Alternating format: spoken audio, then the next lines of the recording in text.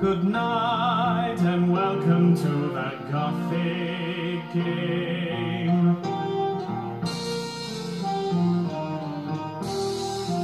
A cry in the dark and no one to blame and no one to hear you as you kill and you maim.